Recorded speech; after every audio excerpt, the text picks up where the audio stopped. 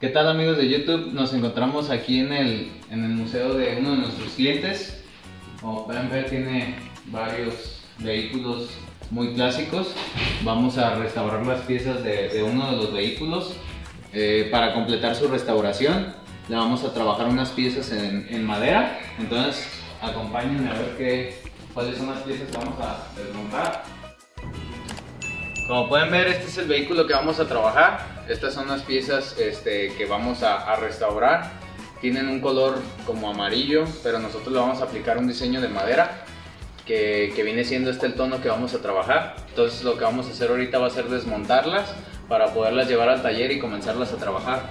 Vienen siendo todas estas piezas de la lateral y continúa hasta la parte de la cajuela.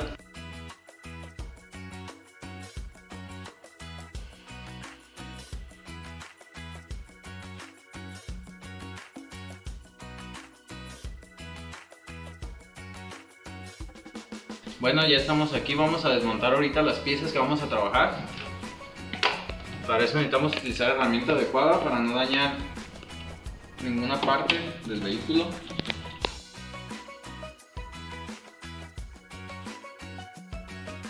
Ya tenemos aquí desmontadas las piezas, son 15 piezas las que vamos a trabajar, entonces pues vamos al taller para, para comenzar con este proyecto.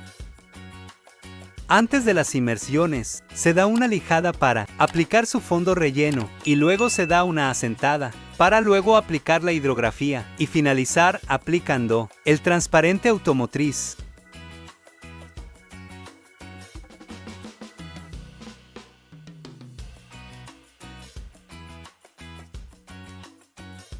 Suscríbete para ver más contenido de hidrografía y carpintería.